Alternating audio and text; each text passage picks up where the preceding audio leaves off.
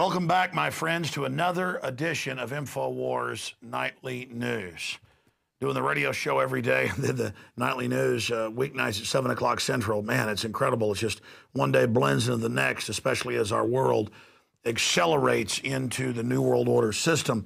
Coming up, uh, film producer Bill Bean's going to be joining us. He videotaped McVeigh about a year after he was supposedly out of the U.S. Army. We'll document why that's so important. And then the one, the only, Stewart Rhodes, the founder of Oath Keepers. He'll break down the National Defense Authorization Act and the admission that America is now a lawless police state. That is all coming up this evening. But first, let's get into our top story Iran. Remember, this is teleprompter free news here, ladies and gentlemen. Assassination of Iranian nuclear scientists is a familiar story. It's the Israelis' uh, favorite way of having a motorcycle assassin drive up beside you in traffic and place a magnet bomb that's then remote controlled, detonated after the motorcycle speeds away. And they've killed uh, what now? Uh, five of their scientists, uh, or bombed five scientists. Four have died in just the last few years. Missile bases are being blown up as well.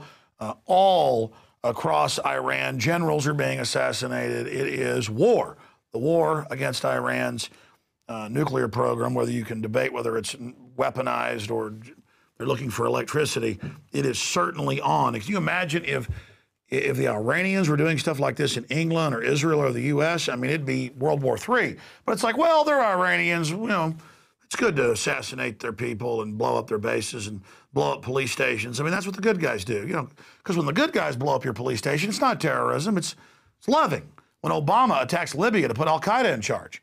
They're called love bombs, it's, it's kinetic action. Meanwhile, uh, Panetta has come out in the news and said that Iran is not developing nukes. Well, whether they've developed them or not, I mean, Pakistan's got 100, Israel's got 300, 400, 500. Nobody knows. We know it's more than 300. I mean, this is all a giant joke. And Iran is now having embargoes uh, being set up by the UN and, and NATO and, and the EU to shut off their refined gasoline being brought in. They sell raw oil and import gas, about 51% back in. This will shut Iran down. That's an act of war. So Iran can't have gasoline, but you can't have reactors either for power. and we have the clip of Panetta talking about it. Here it is.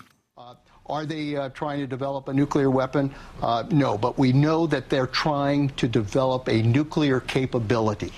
And that's what concerns us. And our red line to Iran is do not develop a nuclear weapon. That's a red line for us. Could we, if we that's the red line. Let's continue here. Mafia is now Italy's biggest bank, and they're squeezing the life out of small business, quite literally. Daily Mail reports the mafia has always run Italy. But we've been taught that only Italians have organized crime. I mean, the head of the FBI in the 50s said there was no such thing as organized crime. Now, organized crime is real. It's running our society here today. And so we've got that report there. Organized crime is the biggest earner in Italy with a turnover of more than 100 billion euros a year, according to a report by business chiefs. So rule by organized crime gangs. We've got them here Goldman Sachs, JP Morgan, Bank of America, Citibank, Wells Fargo. They're the big six Federal Reserve owners. We tout the Bank of England into that. That's six. But there's another report. Bilderberg elitist Charlie Rose invokes Ron Paul electability myth. There is this mantra that he can't win even as he's in second place all across the country, and they try to sell us uh, Mitt Romney, who loves open borders, gun control, abortion, carbon taxes, and wrote Obamacare. Uh, it is truly staggering. Here is uh, Charlie Rose feeding you his line of uh, claptrap, telling you that you got to think the way he says you should think. He's your God, and you're going to do what he says. Some out of the Romney camp say that you're not electable, and they're happy you're in second place. well, uh, you know, I've been electable. I've won 12 elections already, and we're doing quite well now. Uh, it's amazing that I do so much better than those other candidates that are all electable. They're all in fourth, fifth, and sixth place, but they're all electable. But I come in second or third, and all of a sudden people say, oh, he's not electable. I don't know how that adds up. Well, there you have it. Uh, let's go ahead and continue looking at election 2012 here. Uh, good news for Ron Paul. Florida may allow proportional delegates. He's already gotten second place uh, in New Hampshire. Uh, they cheated him. He got a close third uh, with second uh, in uh, Iowa. But Florida is a winner take all state. In other words, whoever wins the primary gets all the delegates. The proposed change means delegates would be divided up amongst top finishers, which is part of our electoral college system. It's kind of a parliamentary system built into the general election. Continuing, Ron Paul says to all the other parties who are getting two points, five points, six points, drop out the other five candidates. Let me go head up against Mitt Romney, who's about as conservative or libertarian uh, as Mao Zedong. And he's urging all of his opponents to drop out, and we are as well. And you should urge them to do what Michele Bachmann and others have done. Now, um, let's go ahead and go to our next story here. That's Rick Santorum has basically come out and said eradicate Muslims, uh, all, I guess, billion, 200 million, that's inherently evil folks. And uh, uh, we've got to uh, basically uh, have a war with these people.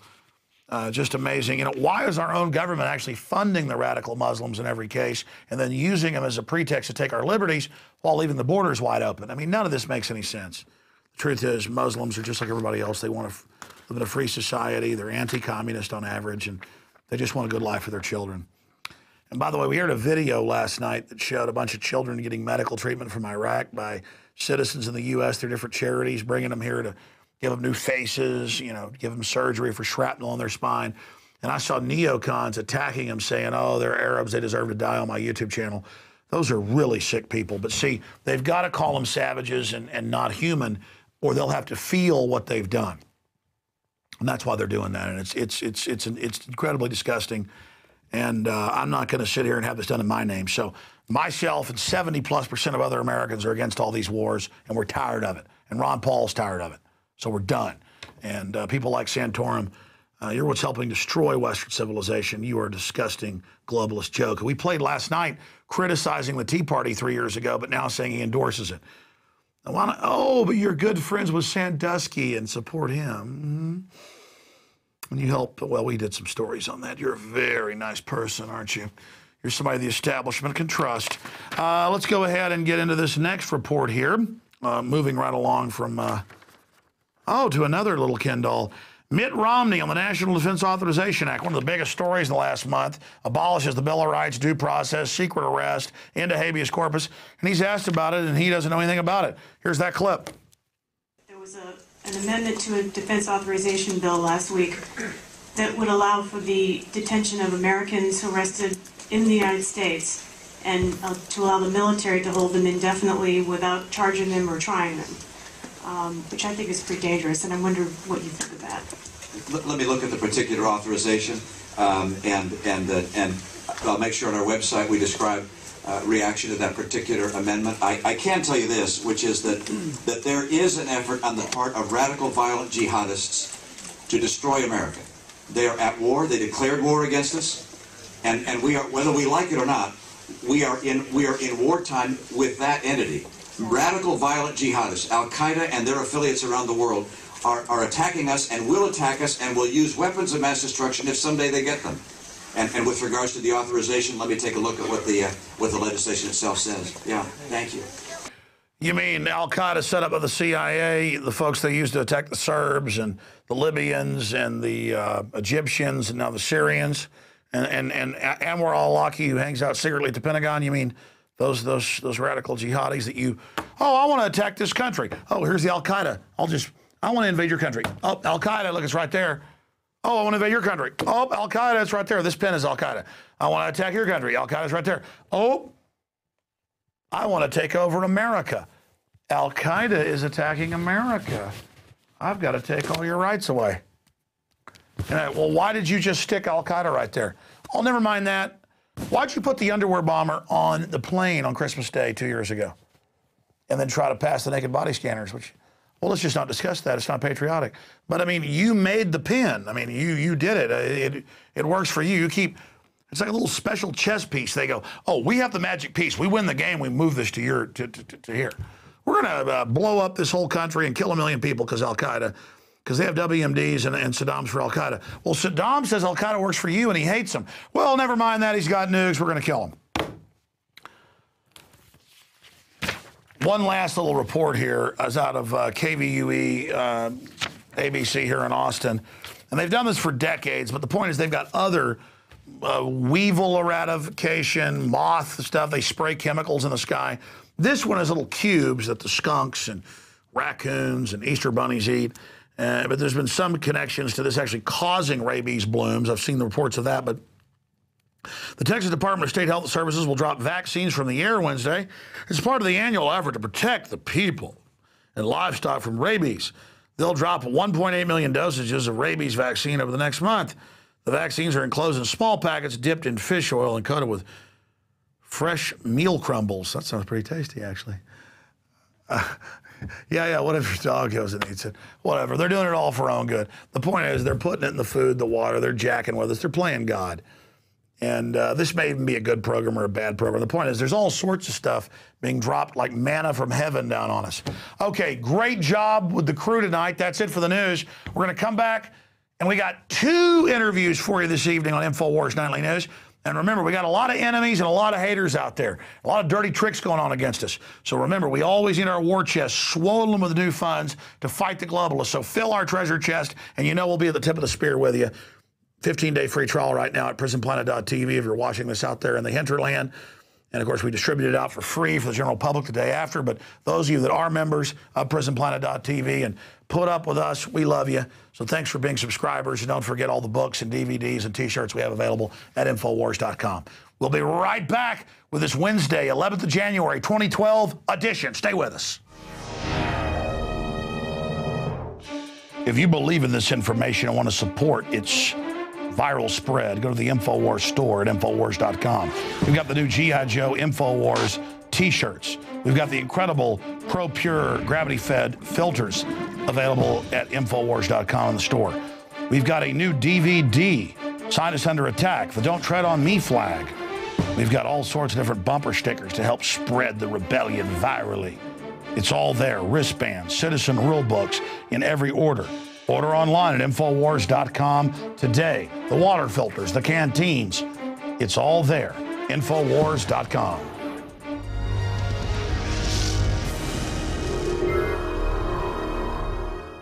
It's InfoWars Nightly News. We are back. We're going to go to this short video clip with uh, director and filmmaker uh, Bill Bean um, dealing with Timothy McVeigh a few years before the Oklahoma City bombing at a demolition military base a year after he was supposedly out of the military. Here's that clip, then we're going to Mr. Bean.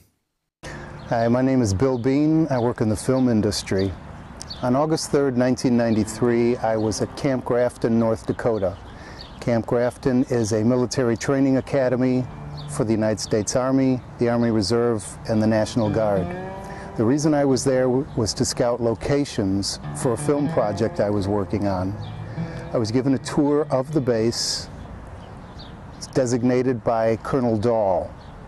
We were by the uh, motor pool, and there were a large group of tanks that were parked there. I saw two soldiers parking a, an armored vehicle. I asked the billeting director if I could go over and interview the soldiers.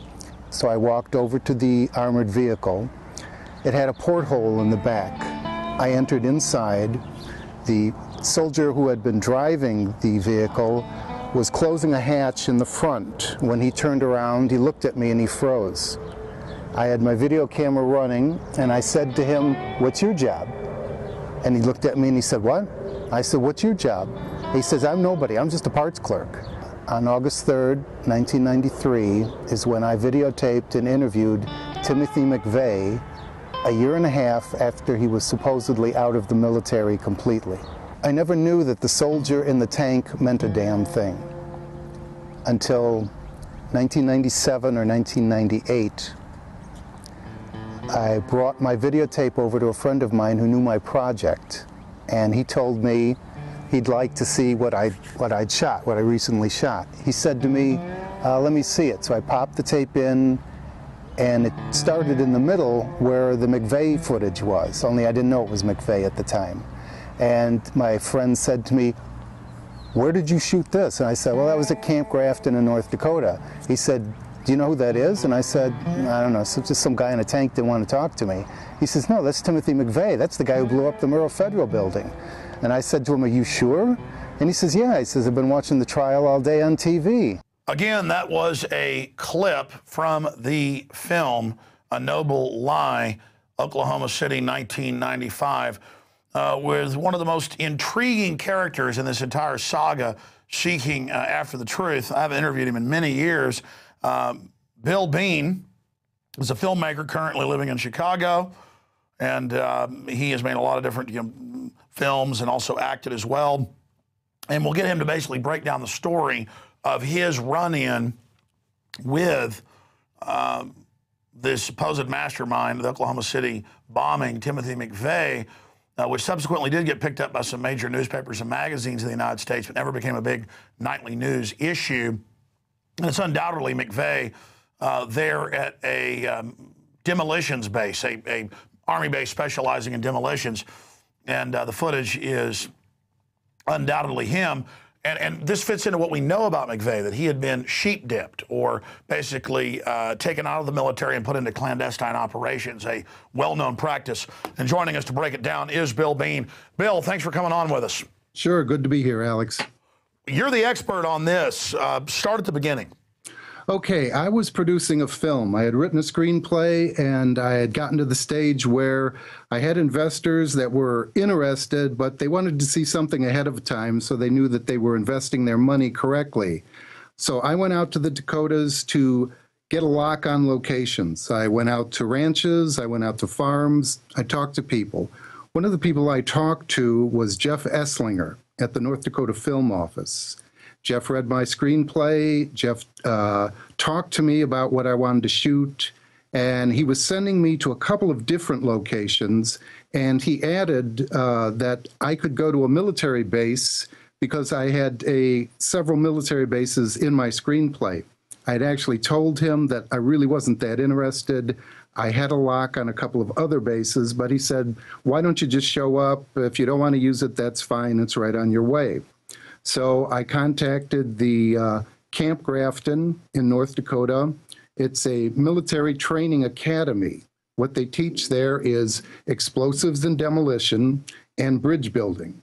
And I had a meeting prepared with a Colonel Dahl. Colonel Dahl was the superintendent of Camp Grafton. I videotaped Colonel Dahl talking to me and stating that I was at Camp Grafton to scout locations for my film. And then Colonel Dahl turned me over to the billeting director, uh, by a man by the name of Paul Osser. Uh, Paul actually took me on the tour of the base. The tour lasted, oh, about two hours or so. Uh, we, t- we looked at any location I wanted to look at. We went to some general locations. Uh, we went to the uh, rec room, the mess hall. I videotaped all the locations. Then we got to some of the more interesting places. Uh, we went to the motor pool where they had gigantic earth moving equipment. Uh, we went to the armory, which I actually got a kick out of. Uh, I didn't really know what it was. It was just a big vaulted door, and I said to the uh, to the soldiers in charge there, I said, gee, could I go in there? And they said, oh, okay. So they opened up the armory. They had to unlock a door like you do at a vaulted safe in a bank. I went inside, I videotaped that. Uh, we went over to the communications room. Uh, then we went outside of the motor pool, and there was a long string of tanks, um, probably the length of a football field uh, various kinds, various makes. Uh, in fact, I was informed that uh, several of the tanks uh, had been captured in the Gulf War. This was the first Gulf War. And some of them were Russian, I believe.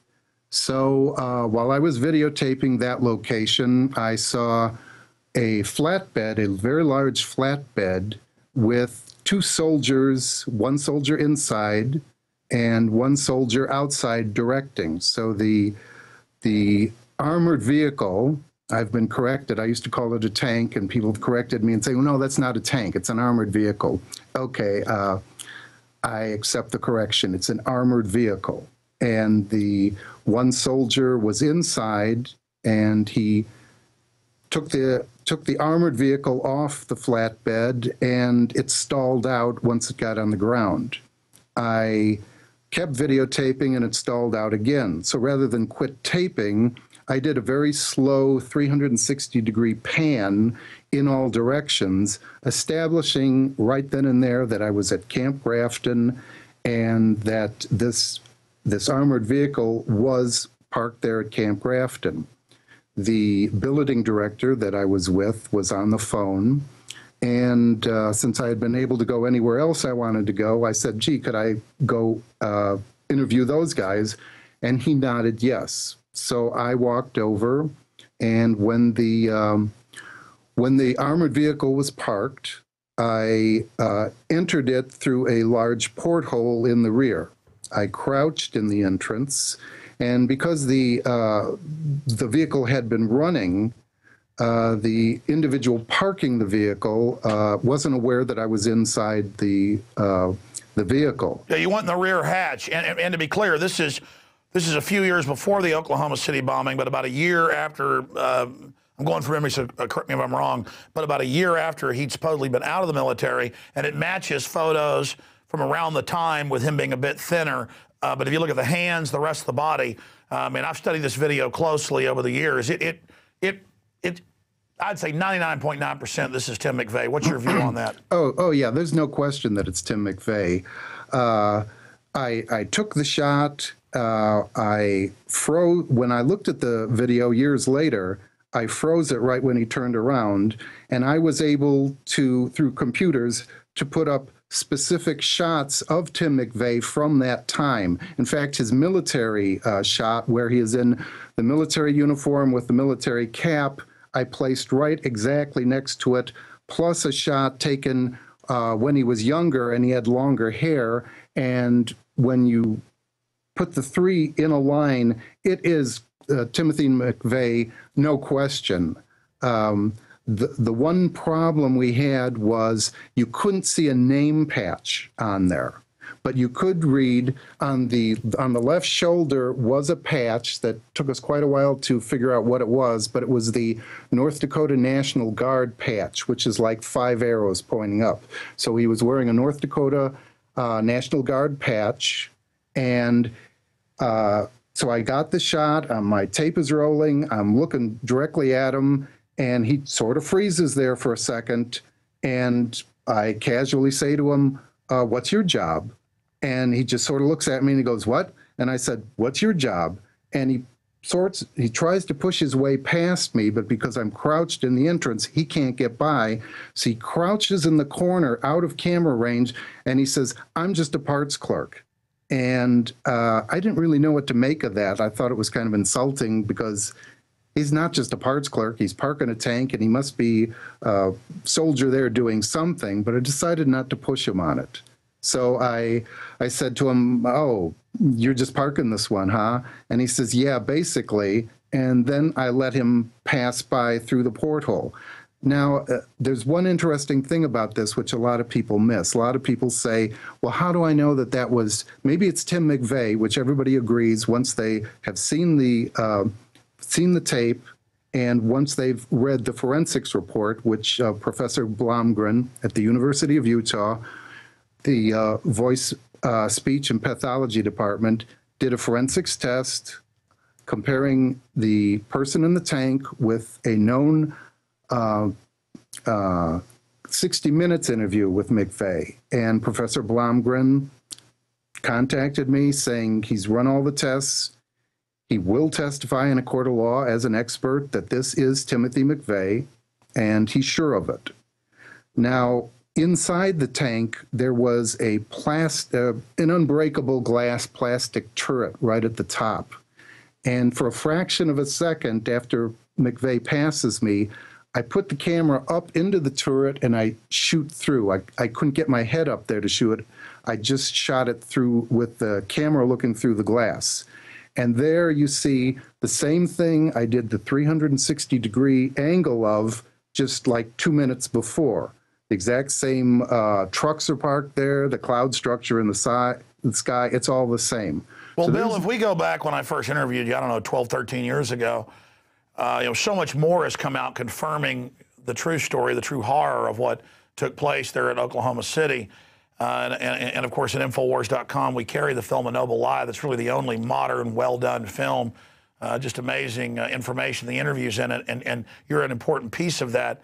Uh, but uh, pulling back from this, separate from from the context of all the other pieces of the puzzle, what is so important in your own words? Because I know it's important, but I want your perspective about your piece of information. Why is this so important that Timothy McVeigh was in the military a year after they claim he was out? Well, Timothy McVeigh served in the first Gulf War, and then he supposedly totally left the military by May of 1992. All the military records say that he was out. He was never again in the military. Wasn't in the Army. He wasn't in the Army Reserve. He was not in the National Guard. His activities at this time were when he was meeting with, they say, right wing types or militia types or anti government types, and they totally lose track. The FBI uh, and everyone concerned says somehow he totally leaves visibility for uh, like a two month period. And it is during this time, on August 3rd, 1993, that I videotaped Timothy McVeigh at Camp Grafton, uh, establishing that he was in uniform, parking a tank, and he was in a tank corps when he was in the military. He knew about tanks.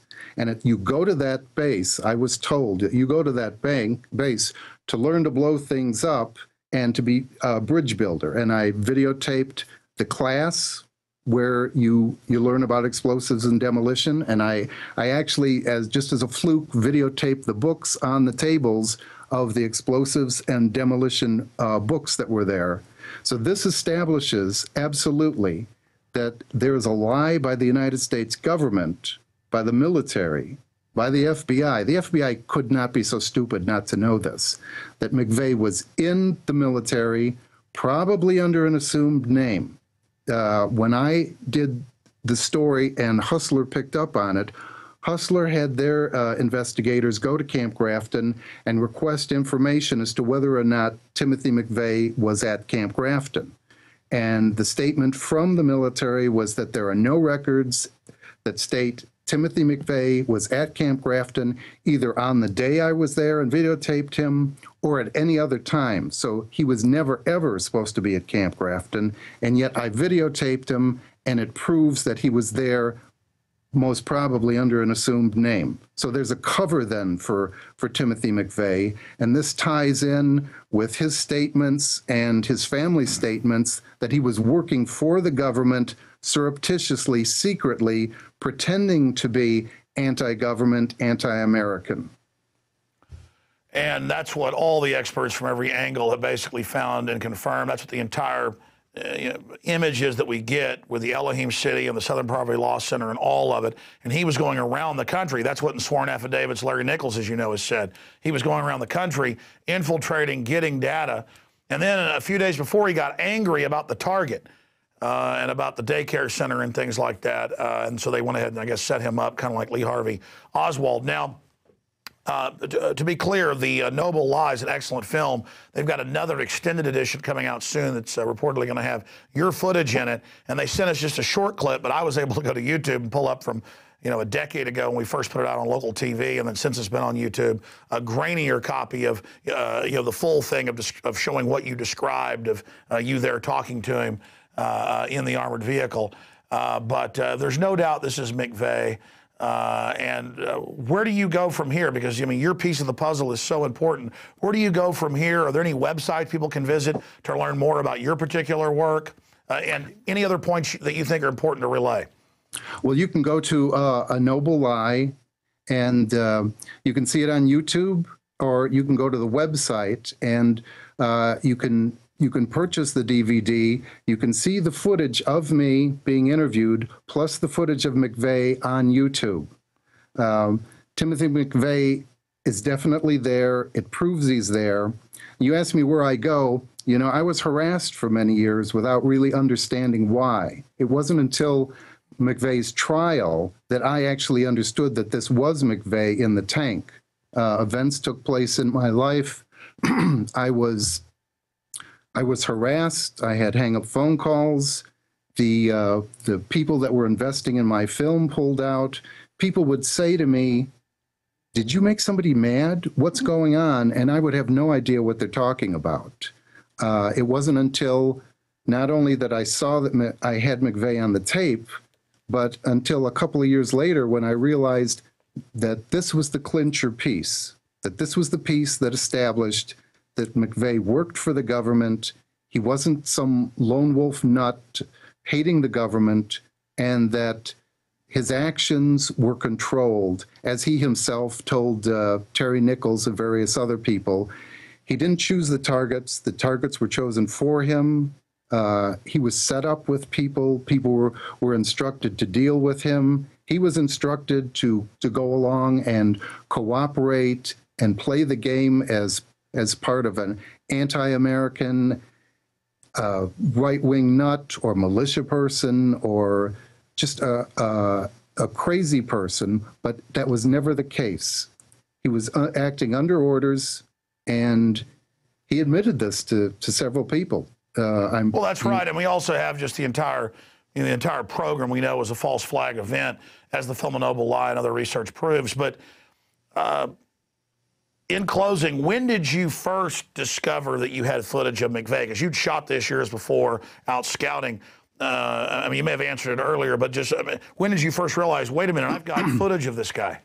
Well, uh, I shot it on August 3rd, 1993, and I didn't realize that it was McVeigh in the tank until like 1997 when I had uh, two hours of footage that I'd shot of various locations and people, and I was showing it to a friend of mine, and it just happened that this part in the tank of Camp Grafton came up, and my friend says, Wait a minute, what is this? He says, Where did you shoot this? I said, Oh, that was at Camp Grafton in 93. And he says, Don't you know who that is? And I said, I, well, I don't know. He didn't identify himself. And my friend told me, That's Timothy McVeigh. That's the guy who blew up the Murrah Federal Building. Uh, since then, I've talked to people. I've talked to VZ Lawton, who is a survivor of the Oklahoma City bombing, who attended the trial and he establishes this is the man I saw. This is Timothy McVeigh. I've talked to Congressman Charles Key, congressman from the state of Oklahoma, who also establishes this is this is Timothy McVeigh. Uh, so this is the clincher piece, at least my part of the clincher piece. No, it's a key. It's it's one of the most important pieces, and it just brings it all together and it confirms all the other amazing evidence. Uh, Bill Bean, thank you so much for spending time with us, and I just want to again thank the filmmakers as well for helping get all the great researchers and people that have contributed uh, and, and and putting it all together in one film, A Noble Lie. And uh, I also want to thank you for your courage under that harassment. A lot of other people would have would have backed off, but uh, we. Well, well, you know, Alex, uh, over 100 people were murdered that day. Little children were murdered. I have had people say to me over the years, you know, why don't you just, I actually had somebody say to me, why don't you just send the tape to Camp Grafton and then maybe they'll leave you alone? No, that's not what we do in life. We stand up for what's right. If we don't, life will only get worse. You're right. Things have gotten pretty bad because a lot of folks just think if you give in to evil, uh, that it's going to back off, but that's not how it works. Bill Bean, look forward to speaking to you again, hopefully on the radio. And again, we salute you, my friend. Thank you, and I salute you too. Wow. Uh, just an amazing individual. We're going to go to break and come back with another amazing patriot. And of course, that's uh, Stewart Rhodes, the founder of Oath Keepers, to look at the NDAA and the nightmare police state unfolding in America under the guise of protecting us from terrorism. But we all know, unfortunately, who the terrorists are, and denying that fact isn't going to make it go away, as Bill Bean just said. We'll be right back. It's InfoWars Nightly News. Ron Paul will be very dangerous for this country because he wants to bring troops like you back from your posts from all over the world. Well, I think it would be even more dangerous to start nitpicking wars with other countries. Someone like Iran, Israel is more than capable of. All right, we just lost our tech connection, unfortunately. A question for you. Do you recognize this guy? He may be the best kept secret in the race for president. He may be the best kept secret. First, hit the mute button whenever Ron Paul talks. The man's an ignoramus, and, and his views are entitled to zero respect. love what I'm doing. In fact, I have a great club that's 15 minutes away. By the way, Ron Paul cannot get elected, I'm sorry to tell you. The isolationist wing of Ron Paul.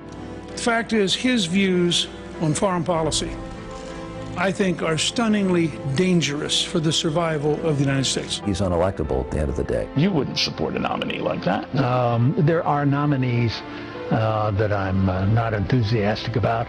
They haven't gotten the nomination, not likely to get the nomination. So you're ruling Ron Paul out? I am. Question is, the cheering is happening here for Ron Paul in the stadium. We're at war here in this country, internally, and this is where our biggest enemies are, and we need to get up off our ass and do something about it. So I will sing Ron Paul until the last ballot is cast. I will not stop fighting. So Ron Paul becomes president, the Republicans, the Democrats, the media, they're out of business. Their Ponzi scheme on America is over. It's done.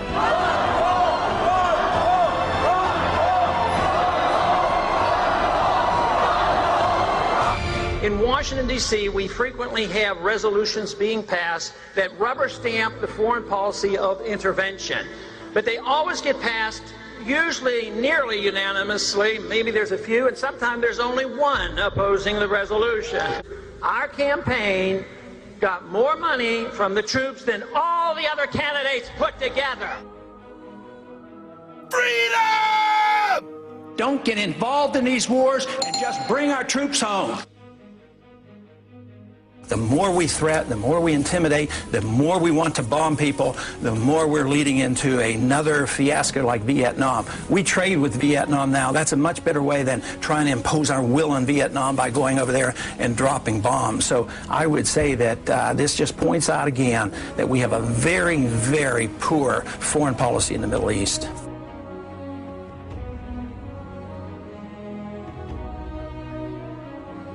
Holding up my sign. Ron Paul for president. That's right, folks. T-Mont. Out here, boots on the ground.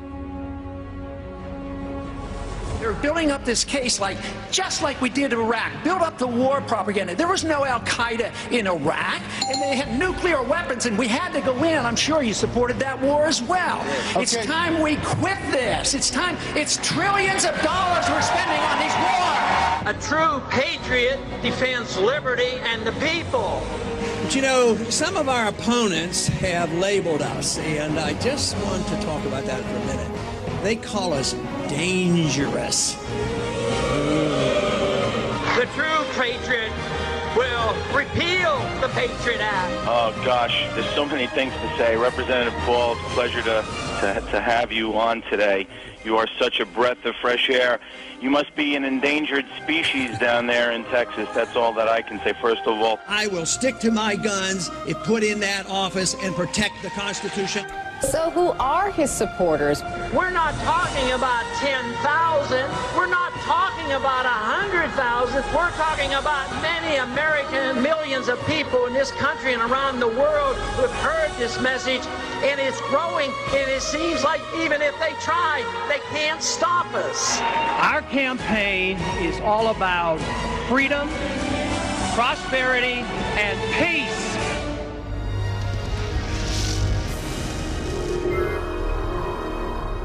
And we are back now with the conclusion of this edition of InfoWars Nightly News with another Patriot.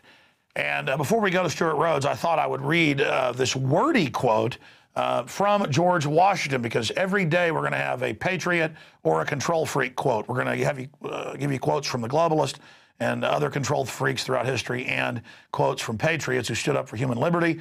And here's the George Washington quote Real patriots who may resist the intrigues of the favorite are liable to become suspected and odious, while its tools and dupes usurp the applause and confidence of the people to surrender their interest. George Washington.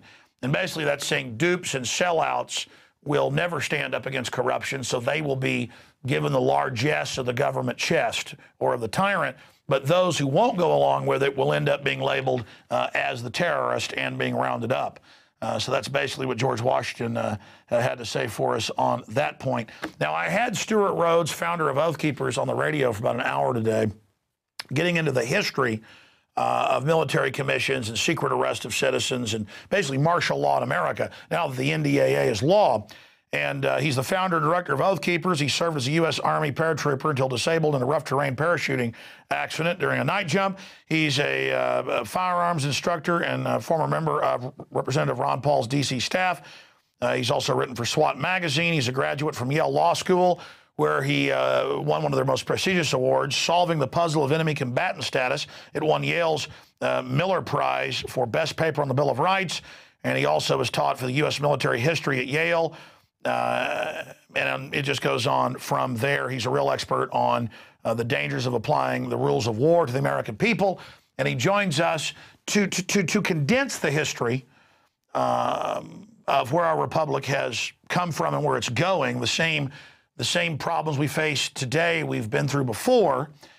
And the tyrants are pretty lazy. They just rewrite old stuff that's already been overturned. And then I wanted him to basically have a call to the police and military to choose who they will serve because the NDAA, though we fought it, has really done something good. It's a silver lining. And that is, it's really proven for everybody that we do have a criminal government at the top and that they really are tyrants. And it's woken a lot of people up. So the wheat is being separated from the uh, chaff. Stewart with oathkeepers.org, great to have you here with us. You've got the floor, my friend, for the next 20 minutes. Tell us uh, where we stand. Well, the bottom line is, is what's happening to us right now is exactly what happened to the founding fathers that compelled them to take up arms in defense of their traditional rights as Englishmen and also in defense of their natural rights as human beings.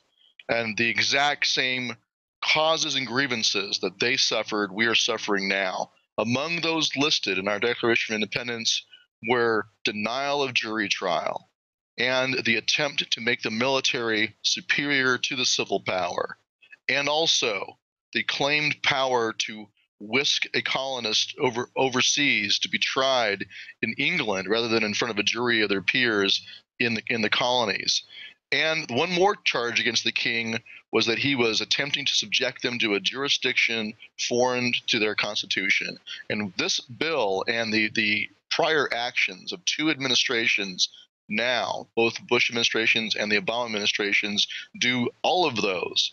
The claim is, is that the powers of the commander in chief during wartime apply not just to a foreign enemy, but also apply to Americans, and that Americans can be treated exactly the same as a goat herder in Iraq.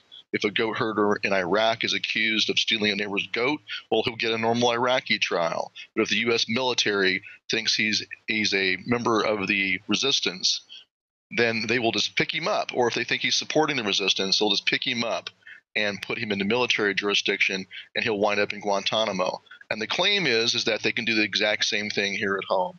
Our Constitution, from the very beginning, has had a sharp line of separation between what can be done to a foreign enemy and what can be done to an American citizen. A, an Iraqi cannot be accused of treason because they don't owe any loyalties to the United States. A U.S. citizen or lawful resident, on the other hand, can be accused of treason because we do owe loyalty to the United States. And that's exactly what's supposed to be done with an American who's accused of making war against the United States or aiding its enemy. As the Article 3, Section 3 treason clause in the Constitution plainly states, it defines treason as consisting only in levying war against the United States or adhering to their enemies, giving them aid and comfort. And it says, No person shall be convicted of treason unless on the testimony of two witnesses to the same overt act or on confession in open court. So there are extra protections. There's requirement for two witnesses, not just one, and not secret evidence or secret witnesses, two witnesses, and or confession in open court. Because the founders had experienced denial of jury trial um, Parliament had passed laws that stripped away jury trial in certain cases. They had passed laws to expand the jurisdiction of the admiralty courts, which were their military tribunals back then. So they had suffered those abuses. And to prevent that from ever happening again, Article 3, Section 2 mandates that all crimes must be tried by jury, and then Article 3, Section 3 defines the crime of treason and tells you exactly what must be done, and it provides additional procedural protections. And this is what's being violated right now by the president and also by Congress and also by the courts. The U.S. Supreme Court, unfortunately, in 1942, threw the Bill of Rights in, in the trash can and authorized military trial of a U.S. citizen.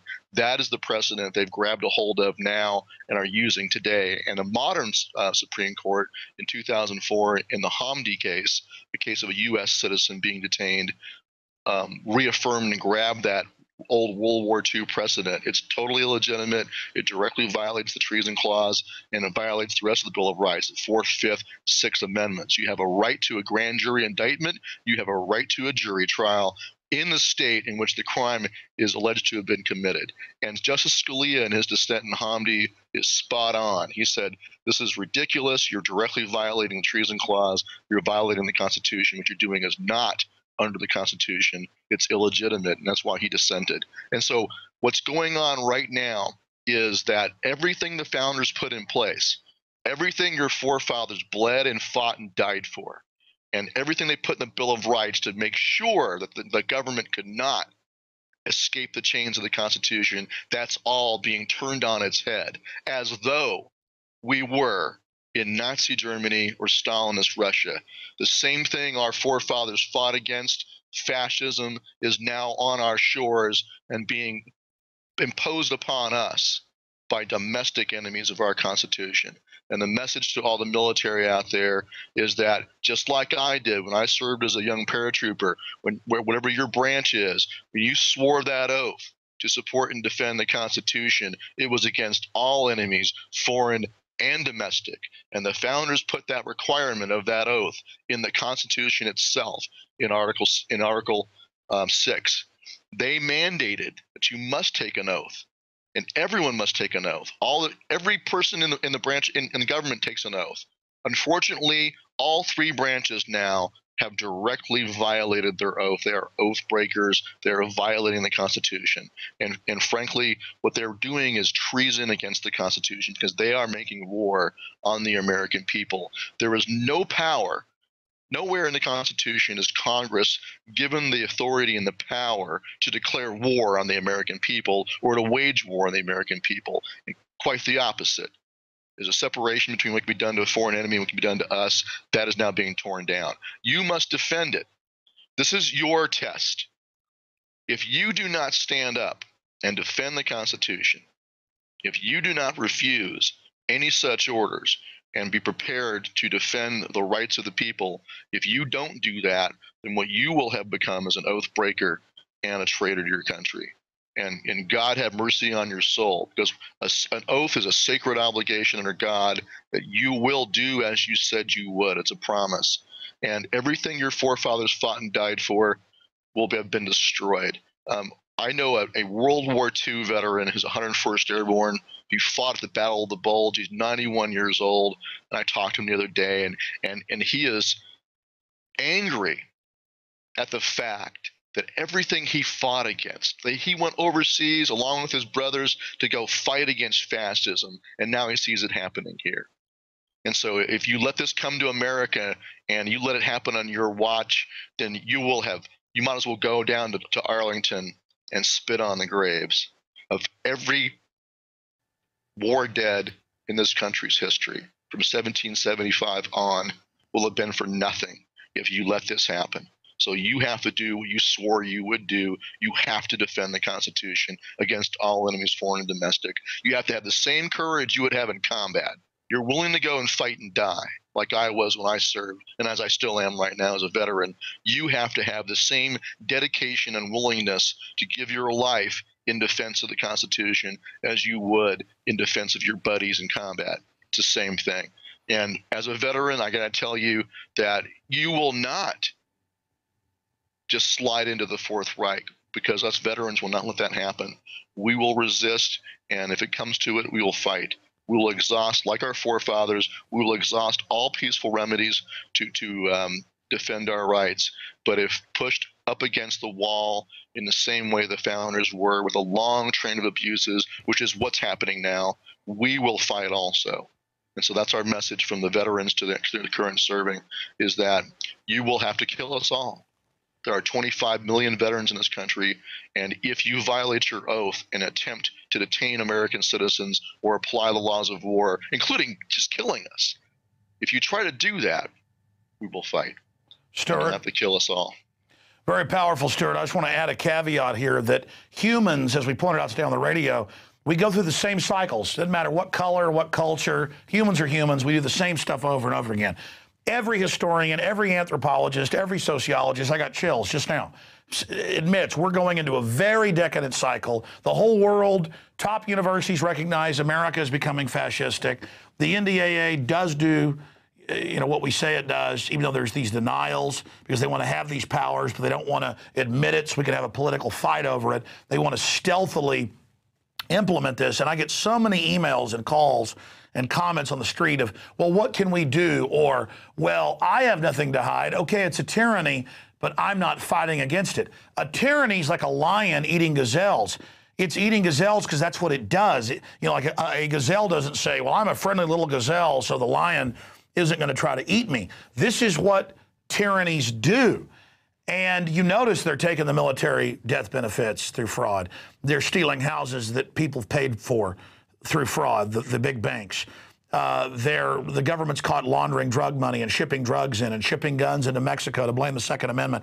And the proofs of it, of the corruption, just it's luminous. Special interests came in, took over the government, and are doing whatever they want. That's tyranny. And we have let it happen and now we're so far down the line, the criminals know we're waking up, so they're trying to pass laws to declare people that are standing up for freedom and common sense and due process as the terrorist. And we have all their training manuals. So people have to understand tyrannies will reduce us to despotism. They will reduce us to poverty like a third world country because that's the nature of what these people do. And their fruits are bondage and servitude and pain and poverty. And, uh, we've got to turn this around now. And I, I'd like you to speak to the point to get your perspective and see if you agree that we fought NDAA, but as you and others have pointed out, they were already implementing this stuff. Now, the fact that it's so naked is really sending out a clarion call. And a lot of people who were on the fence, I'm heartened to see, aren't groveling in fear. They're seeing the illegitimacy of this. They're seeing the enemy fly their Jolly Roger openly. It's piratical. It's openly criminal.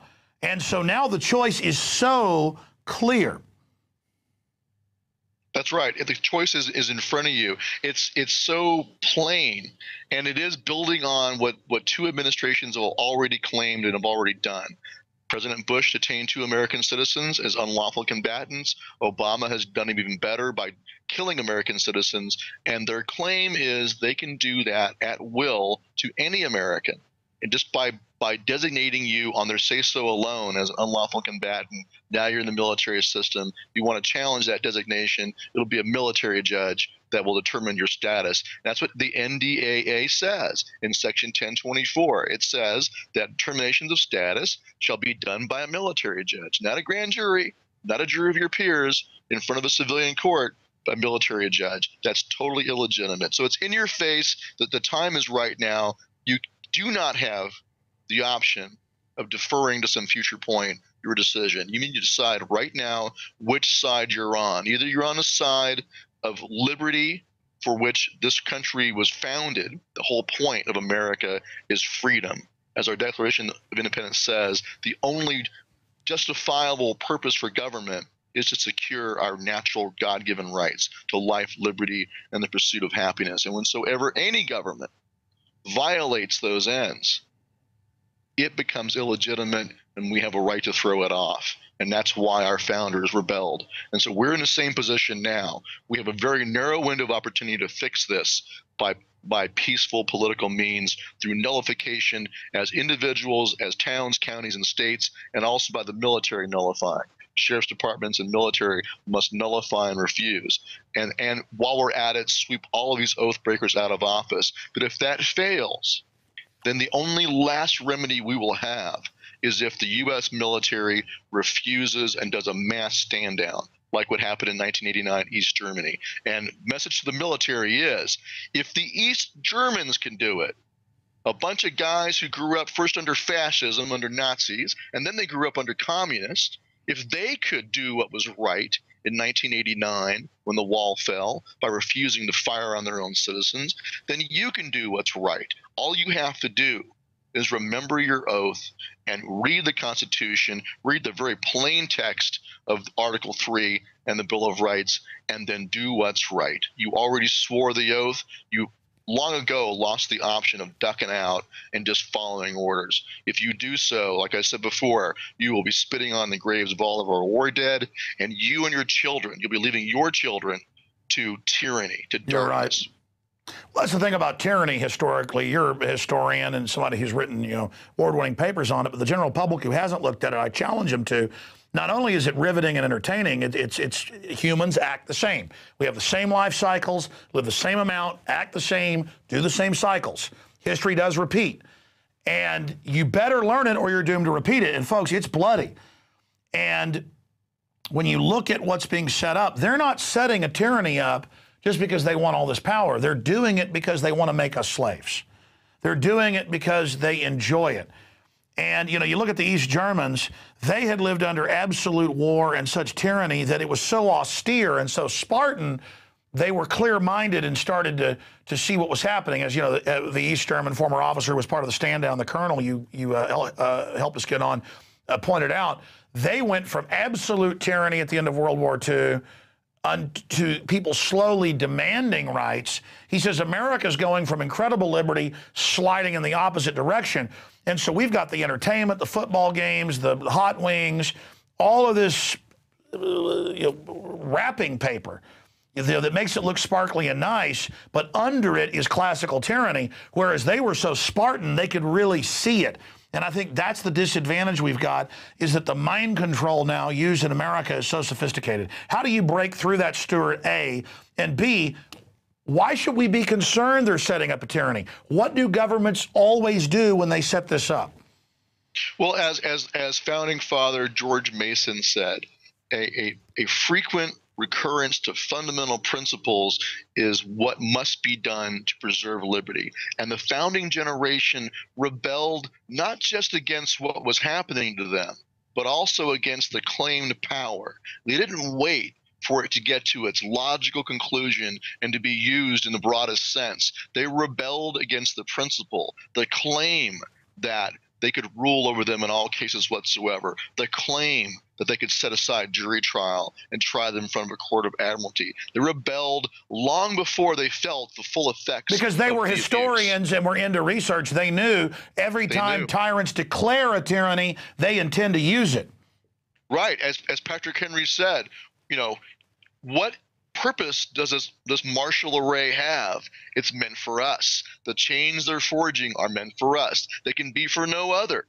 They understood human history. They had seen the history of the Star Chamber in England, where you had secret trials uh, with secret evidence and, and torture and coerced confessions. They understood all of that. They understood the reason why 600 years of struggle to establish the right to jury trial and and the right of habeas corpus. They understood that history and they knew that tyrants would always or, or willful men of power would always be tempted to to throw away any restraints on their power and to use that power in a willful manner against anyone who opposed them. They had seen it throughout history over and over. And let's be clear. Greece on. all over the world, the Magna Carta and U.S. model of juries and due process, that has become the model.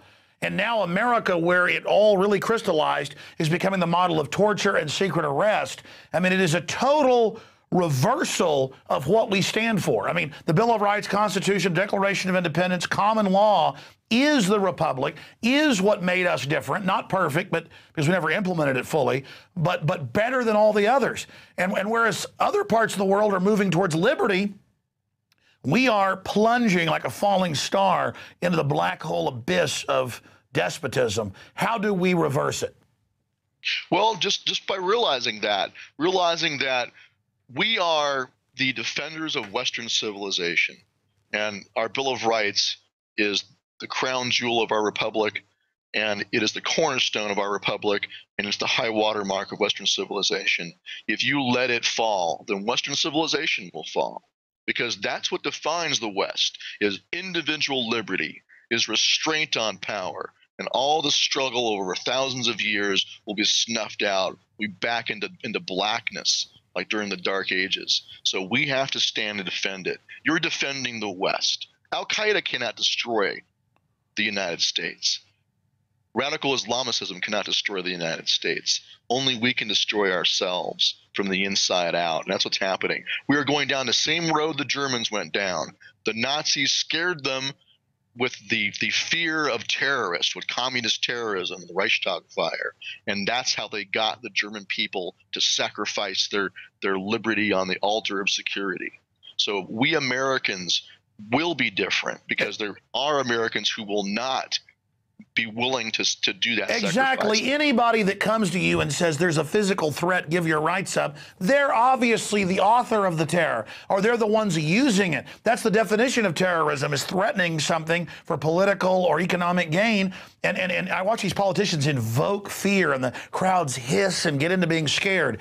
How do we go from land of the free, home of the brave to just this religion of fear? It's so ridiculous. I mean, it is it is so alien. It, it, it is so disgusting, Stewart. I want to ask you about the tens of thousands of police and military you talk to.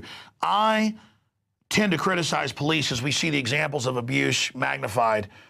And I understand that is a minority, but the system is trying to encourage that. But especially with military, though, to to say that the awakening is is is at warp speed or hyperbolic or exponential is putting it lightly. Again, I if you go back 10, 12 years ago, I was very negative about where we were going. So I'm not a cheerleader here.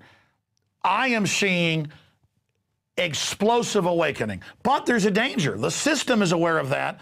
Just look at Ron Paul. We never even got into him today. The system throws everything they've got now and it still can't stop somebody. That's the barometer for them. And uh, so, so break down how fast is the awakening you're seeing? Or do you disagree and, and, and, and say it's not happening this fast? And how, how is Ron Paul a bellwether or weather vane or barometer of that? Well, I think I think the we have two great weapons in, in our in our hands. One is well, one is the truth in our own history and our own their own constitution, and but the second one is the internet and freedom of speech, and that's what's galvanized Ron Paul's campaign and also the work of others like Chuck Baldwin, who's running for lieutenant governor in Montana. And, you know, what you do, what I'm trying to do, all of that is dependent upon freedom of speech, which is why they're going to try to shut down the internet with SOPA. That's like the enemy combatant status for websites. They can just designate your website an enemy combatant and black bag it. Yeah, they know, we're no, waking no up, process. so they're moving on every front. So we better make hay while the sun shines. That's right. And and it is we will win in the end provided we have enough time, the truth will prevail. We will win. And they know that. And that's why they want to shut down the internet because we are reaching the troops, whether they like it or not. We are reaching the police officers and we are reaching our fellow citizens and we are waking them up. And like I said from the very beginning of Oath Keepers, I know from my own personal experience in the military that those who serve do have honor and courage. But what's happening is, is the powers that be are relying on them being ignorant, not teaching them what they should know, their own history. We all went through public schools. We weren't taught our history. They rely and use that ignorance, and then they twist it and turn it and try to tell you this is all lawful. This is all okay. That oh yeah, this is what you always do with enemies in wartime, and including U.S. citizens, which is total nonsense. So they're they're trying to get you to believe a lie, a great lie, And so, what you have to do is just open your eyes and see the truth. Go read the Constitution, read what, what the founders fought against, read what they said when they when they founded this this this country, when they when they founded the Declaration of Independence, when they when they wrote the Articles of Confederation and the Constitution. Read what they were doing and why they did it. And when you do that, once your eyes are opened, you will not be fooled. And I do have confidence in you to have the courage to do what's right. I know you got courage. Once you know what's right, use that courage and stand on your oath. You have an obligation to do what's right. You're right. You know what it is. But unfortunately, it has been pointed out that moral courage is rarer than physical courage uh, to go against the peer pressure. But I see that peer pressure uh, cracking right now. I think it's important, again, to go back to where I started, though, Stewart, and I want you to close on this and make any other points um, uh, you know, that you'd like to the millions of folks in the aggregate that'll end up watching and listening to this when you look at the landscape, you look at history. That's why those of us that study history are so horrified. People need to understand there's not really a choice. I mean, there's the illusionary choice, that, uh, this mirage that you can go along with the system or you can stand for freedom. And the system sells the idea that standing for freedom is the dangerous course. But if you look at history, going with the tyrants is the absolute dangerous course. People say, Alex, you've got so much courage to do what you do. And you know, or you could have sold out and all this stuff. Sell out to something that's so destructive. I mean, this is a nasty tyranny. It's only going to get progressively worse. It's it's like selling out not cutting out cancer. It's going to be hard to go get the cancer cut out. It's going to be a lot harder to die from it. And and as people need to understand, there's not really a choice. I mean, if you study history and know this stuff like Stewart and I do, or Ron Paul does, we're not that smart of guys. We just learned about real important stuff and started researching it. Anybody can learn about this. It's history. It's who we are. It's it's the human struggle. It's the human condition since day one, since zero hour.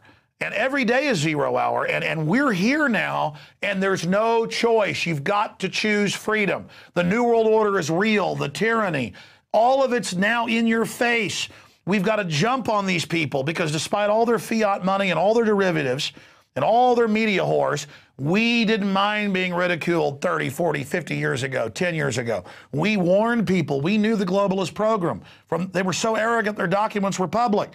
So we preached the enemy battle plan. Now it's happening. And, and now those time bombs, those seeds have been planted. But they are committed. That's what I'm saying. This big collision is here. This, this great time is now here. We're in the fight because people were willing to be imprisoned and killed and tortured and set up. 40 years ago, if you talked about this, they would kill you they, in many cases because they were scared of the info ever getting out. Now it's out. They're trying to just manage it. So people need to understand people died and were imprisoned and ridiculed and attacked and, and, and, old men and women handed out pamphlets 50 years ago about the coming New World Order and were laughed at, you know, out in the rain in front of, you know, buildings so that so that we could build on them. We've got an infrastructure a thousand times what it was just 20 years ago. Our infrastructure is going to continue to grow. I know I'm ranting here, Stewart. It's just that uh, if you think about the work everybody did before us, just so we'd have a launch pad to be able to challenge these people, we better use it, Stewart. Absolutely, and of course, look at look at all the, the blood and, and, and sacrifice of our forefathers and everyone who struggled for human freedom for hundreds of years. I mean, all of it is on the line right now, and now it's our turn. It's our watch. It's our turn in the breach to stand up, shoulder to shoulder, and to defend the rights of our children and our children's children. Because if we don't, then they will be lost in darkness. And as you said, it's an illusion to think that you're going to be safe. Go and you should all go and read the Gulag Archipelago by Solzhenitsyn. He talks about what happened in the USSR under communism, under under a tyranny. Everybody was at, was at risk. Stalin purged, you know, mindlessly purged officers out of the military and in the police. No one was safe.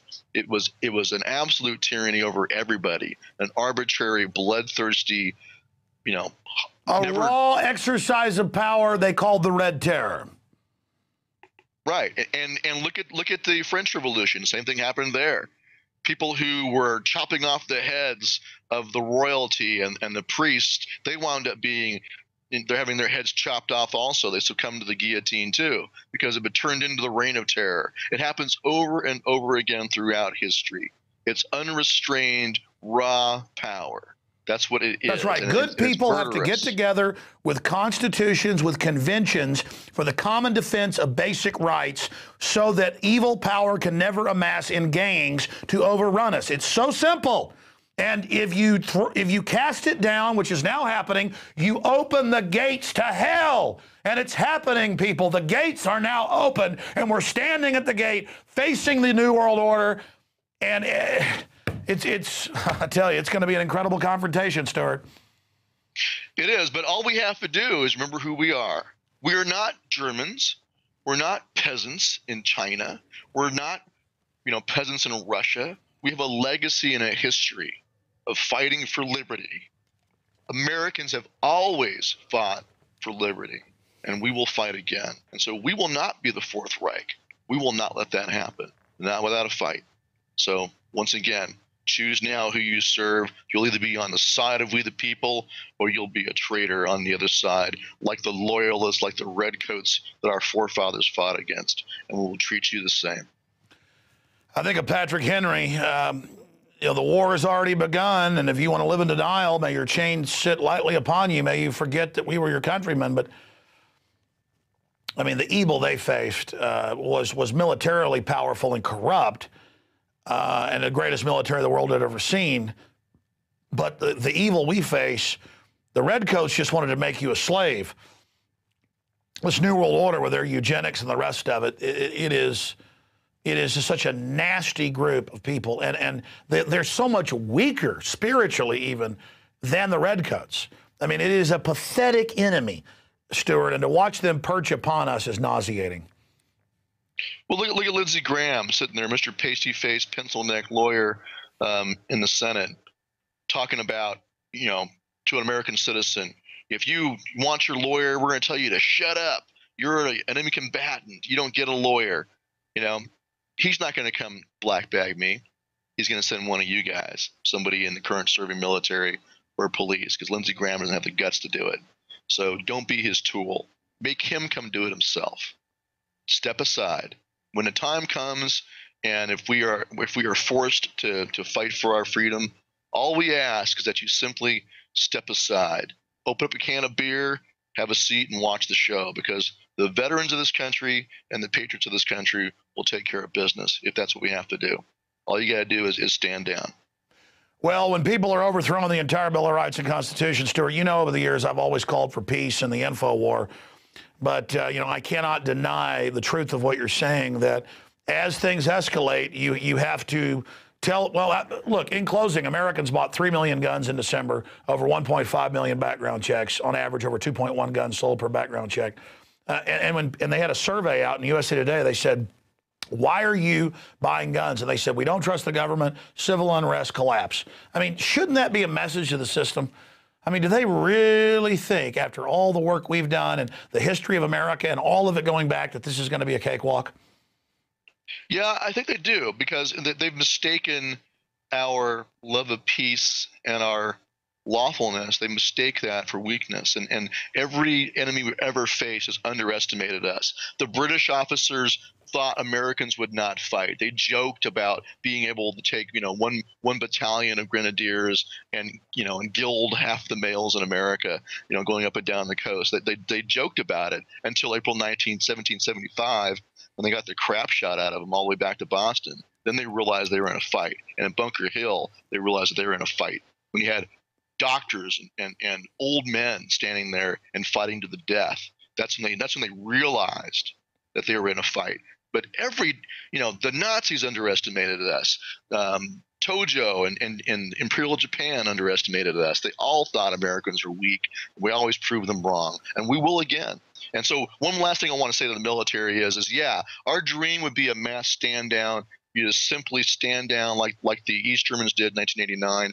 But if God forbid, if elements of our military do apply force under the laws of war to the American people and do start blackbagging Americans, there's going to be a fight, and then the people in the military have to choose which side they're going to fight on. Just like our militias back then in 1775 had to choose which side. Some were loyalists, some and loyal to But the folks crown. have also got to be smart, Stewart.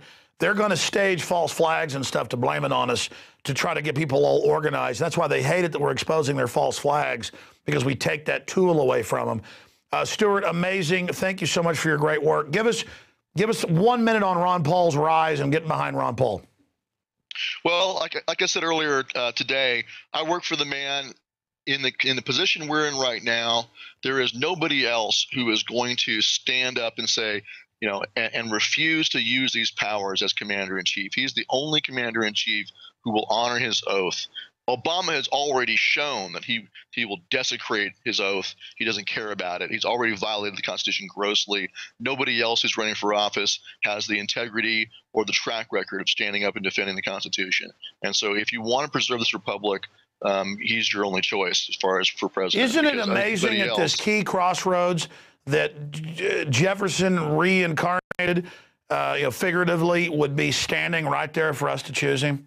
And of course, he's old like the Republic as well. I mean, all the archetypes are there. It's it's it's like science fiction. I mean, here we are, and this archetype, you know, the elderly uh, but omnibudsman, wise Gandalf, the the you know the, Jeffersonian spirit is right there waiting for us, never compromising, never wavering. Would we choose him? I mean, I mean, it's it's right there. It's it's it's very it's very providential. Well, it's also a test of, uh, of us. I mean, it's it's it's a sad sight to see that because of the fear of, of radical Islam, so many um, conservatives are rejecting Congressman Paul. I mean, I'm speaking as an individual. Oath Keepers did not endorse candidates, but I I can't.